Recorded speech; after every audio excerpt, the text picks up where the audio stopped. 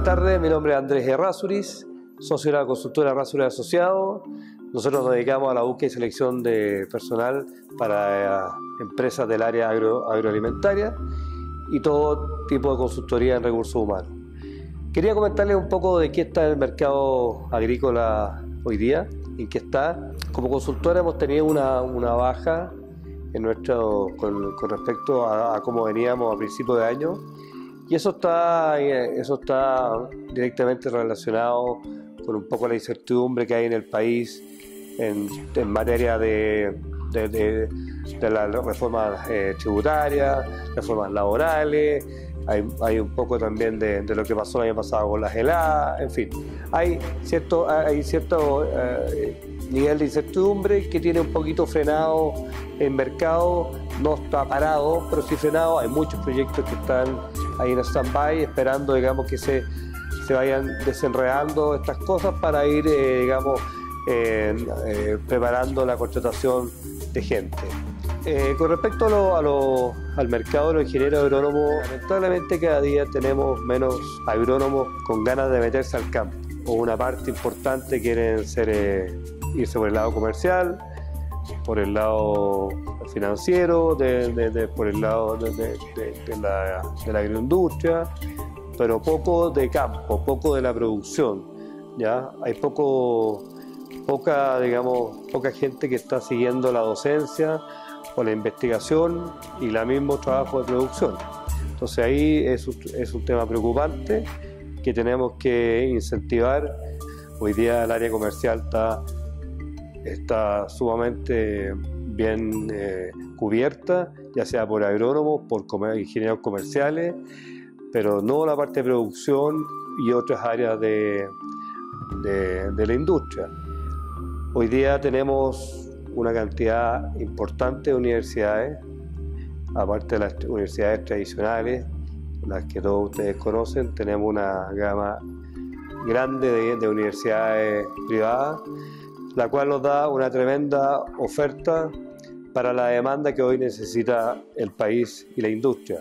La gente ha buscado otros rubros, digamos, donde trabajar. Está con trabajo, pero no en el área donde estudió. Ah, podemos ver muchos ingenieros agrónomos trabajando en, retail, trabajando en bancos, trabajando en otras industrias a las cuales ellos, eh, por las cuales digamos, ellos se enfocaron hacia el estudio en algo relacionado a la agronomía o al campo o a la parte técnica. Una alternativa eh, no menor y interesante para los agrónomos chilenos y que a nosotros como consultora nos piden mucho es eh, digamos, la exportación de, del profesional chileno. Es muy bien cotizado el profesional chileno y el técnico también.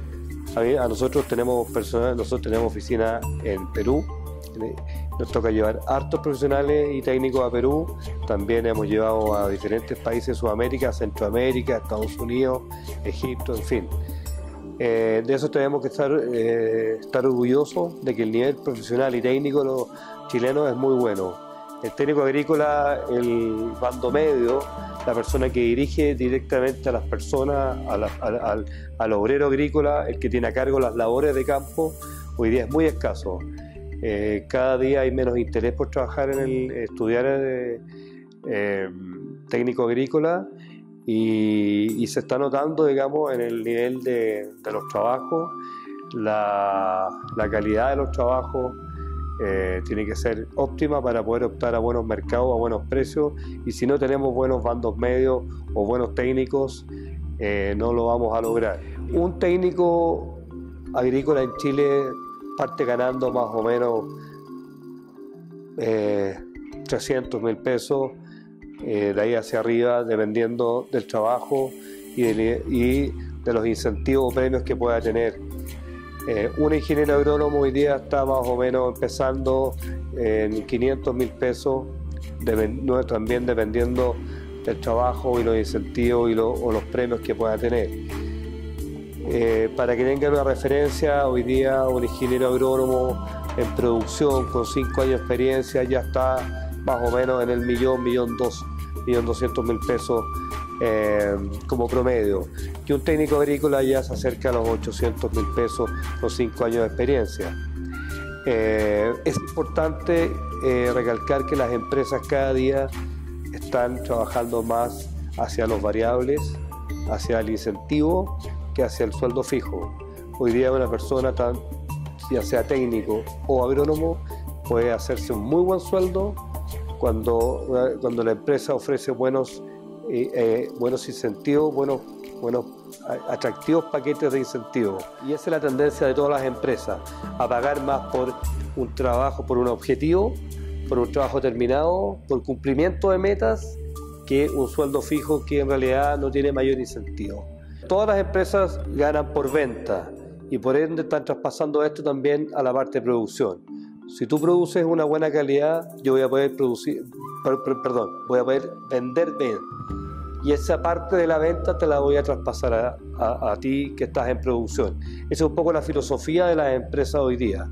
Y que es bastante bueno. Hoy día, si yo, le pongo, si yo me pongo la camiseta y hago bien las cosas, puedo optar a un buen bono. Y eso a la larga puede ser mucho mejor que un sueldo fijo. Un tema importante que me toca ver día a día es la calidad de los currículums. Lamentablemente son y llegan de mala calidad. Como consejo les pido que se preocupen. Nosotros tenemos las puertas abiertas de nuestra consultora para que nos llamen, nos vayan a ver, nos manden mail y tenemos formatos tipo, en fin, que son bastante básicos. Pero todavía vemos currículums que son muy enredados. Hoy día eh, necesitamos rapidez, agilidad para revisar los currículums es mucha la cantidad de, gente que postula, que entra a la base de datos y tenemos que tener nosotros como consultora y las empresas que también toman directamente a su a sus futuros eh, empleados tienen que ser eh, tienen que tener una planilla fácil de leer un currículum que sea claro y preciso sin entrar en tantos detalles sino que principalmente los datos personales los logros los últimos trabajos y la formación académica Cualquier otra cosa se le, puede, se le va a preguntar en la, entrevista, pero no traten de impresionar a, una, a, un consultor o a una empresa por la cantidad de papeles que manden. De hecho, entre menos páginas tiene un currículum, se dice que es más eficiente y mejor hecho.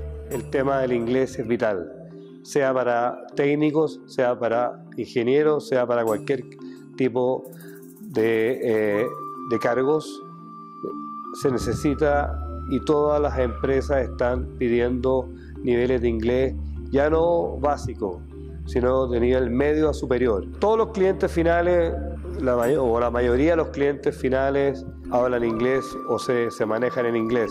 El mercado asiático, hoy día el mercado asiático que crea potencial de, de, comprador de la fruta chilena o de, de productos de la agricultura chilena, se está manejando en inglés. También hay empresas que están pidiendo incluso cierto manejo de chino mandarín. A ese nivel estamos llegando. Pero hoy día yo les diría como, como un mensaje que así como la gente se especializa en algún tipo de maestría o algún, algunos toman MBA, otros se, van por otros lados, antes de salir al mercado laboral ojalá estén bien preparados en inglés. Hoy día eso es fundamental como plus hoy día teníamos dos personas del mismo nivel y por supuesto que van a escoger a la persona que tiene mayor capacidad o un mejor manejo del inglés. Es básico manejar bien el control de gestión de las empresas. Es por eso que muchas empresas se han inclinado por contratar ingenieros civiles para diferentes procesos, ya que el ingeniero agrónomo o el técnico agrícola no está preparado para manejar el control de gestión de las labores diarias. Bueno, espero que les haya servido estos pequeños tips de esta cápsula. Les quiero dar las gracias por esta oportunidad. Les reitero las puertas abiertas a nuestra consultora.